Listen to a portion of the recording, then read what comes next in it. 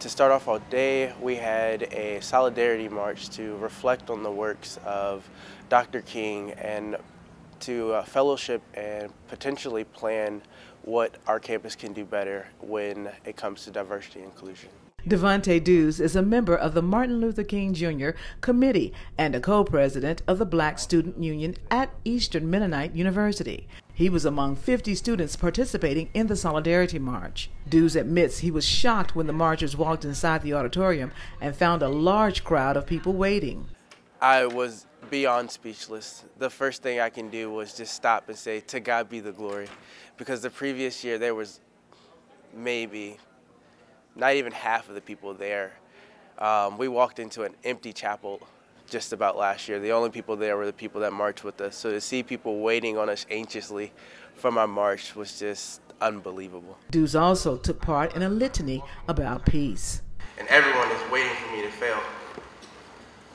All I want in life is to be successful and to be a role model to the younger generation. So what now? Do I assimilate and let my voice be oppressed? Do I change in order to fit into white America? We have inner peace. It helps to keep us calm make us feel so safe whenever we feel harm. It is there inside, there to call upon when we need it the most to help us carry on. We meant well. We thought we were doing God's will. We did not see the face of God in each other. The climax of the MLK celebration service was a guest speaker, Reverend Sharon Risher of Charleston, South Carolina. Risher's message was entitled Stay Woke, Remain Awake Through a Great Revolution. Dr. King's use of nonviolence in the face of violence. Because you see, after he got into the movement in the civil rights era, he was faced with violence every day. If you know a little bit about his history, his house was bombed. His family was put in harm's way because of what he felt God had called him to do. He had to even go buy a gun to protect his family. Not that he wanted to, but because he had to. This is the kind of life that he led because of the call God had given him in his life. Risher knows the dangers of gun violence firsthand. On June 17, 2015, a 21 year old white young man decided that that would be the day that he would go into Emmanuel African Methodist Episcopal Church and shoot and kill as many people as he could. He did months of research and preparation, including several road trips back and forth from Columbia, South Carolina to Charleston. He scouted out the church. He plotted his, his escape route. And on that day, my family members, among others, were attending their regular Wednesday night Bible study. They gathered as usual.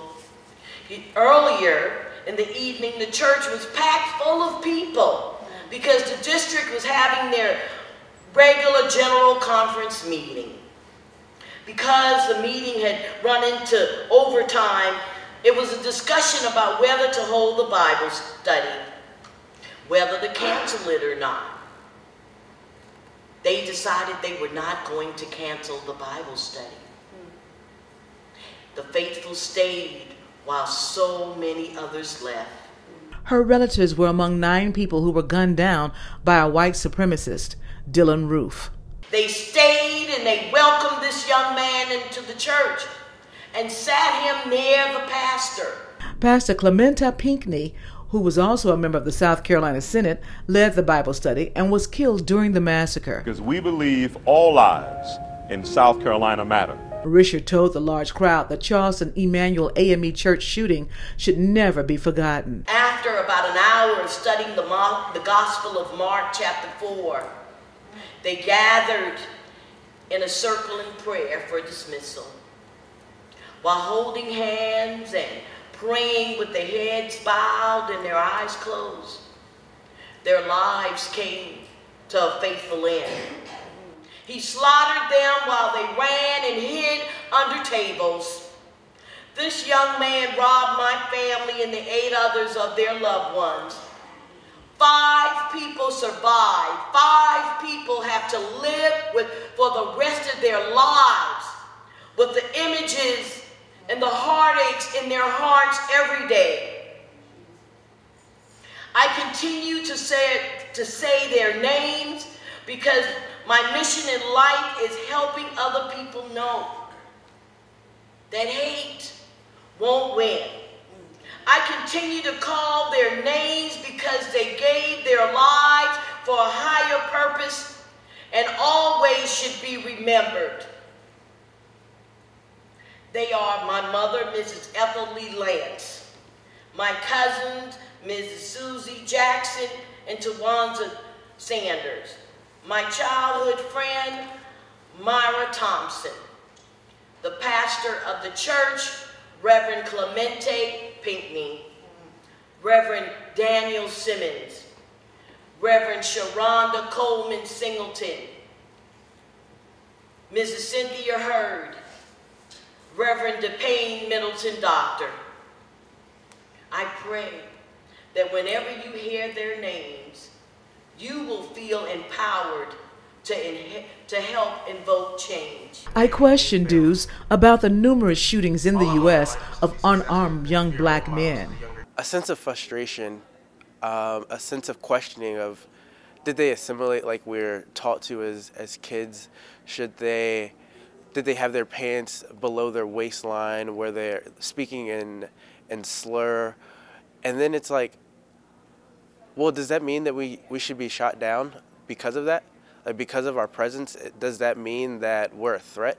How do we, what is the correct presence or representation of ourselves do we need to be known as non-threatening?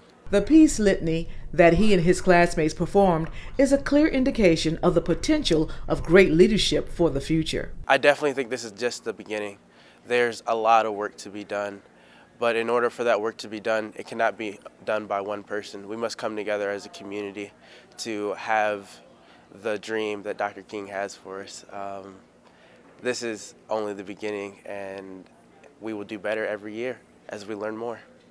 Every day of our lives, every day we wake up, we have a challenge of doing something that will better ourselves and that will better the lives of people who don't look like us, who don't talk like us, that live in the same neighborhoods that we live.